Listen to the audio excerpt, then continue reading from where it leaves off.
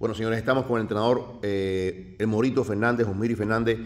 Primera velada de MR del año, 10 de febrero, aquí en el Mikosuki. Cuéntame cuál es la ilusión de esta velada. ¿Qué trae esta velada, Moro?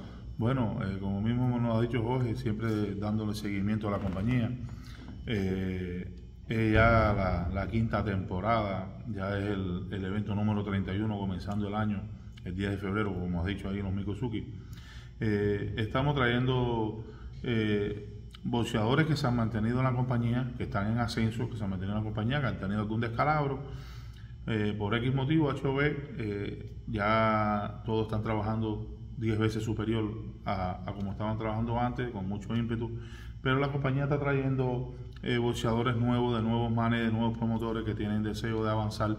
Y entonces estamos haciendo un, una conjugación de los boxeadores de la compañía con los boxeadores que vienen nuevos que también eh, posee muchos fanáticos que lo siguen y para que el evento sea más fructífero.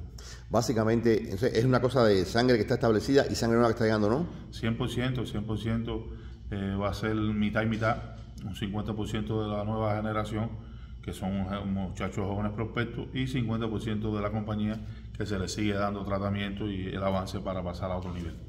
Este es el primer evento del año. ¿Cómo tú ves el resto del año de la empresa?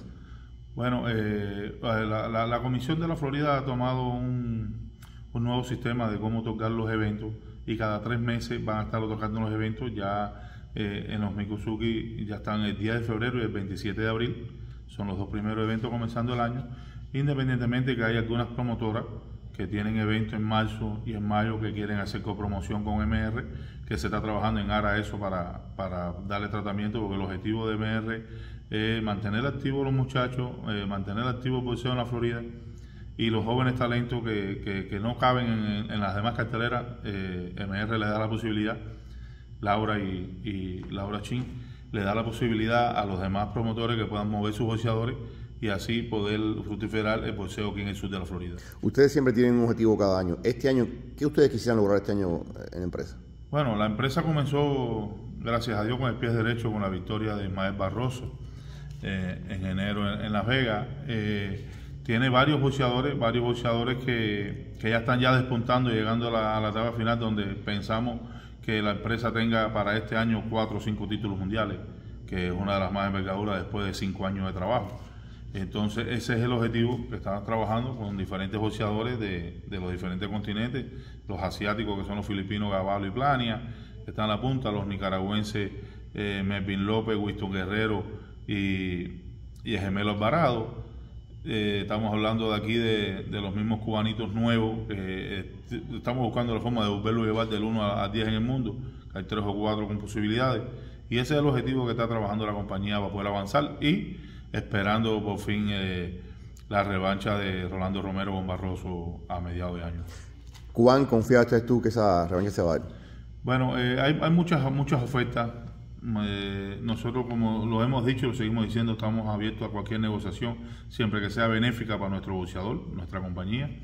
Y si es beneficioso para nosotros y eso, eh, estamos lo mismo a, a echarnos un lado, que a pelear, que a esperar, pero siempre y cuando tengamos el respaldo de la WBA que diga el ganador de estos dos tiene que pelear oficialmente con Barroso. De lo contrario, vamos por, por lo que dice el estatuto y, y, el reglamento de la WBA donde dice que tenemos 120 días para negociar entre Barroso y Rolando Romero.